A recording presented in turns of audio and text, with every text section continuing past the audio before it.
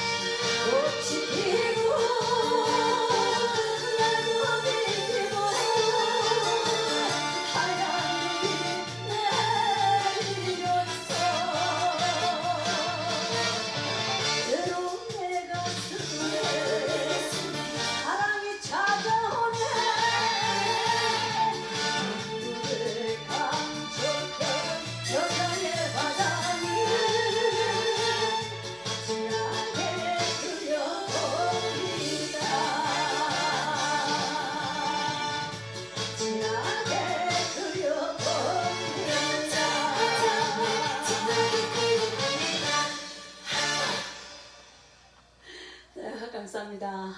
정말 여기 2000 제2회 인상축제 어, 축하드린다고 말씀드리고 싶고요.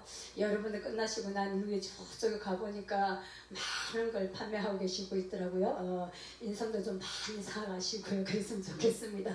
자, 두 번째 노래 들어가겠습니다.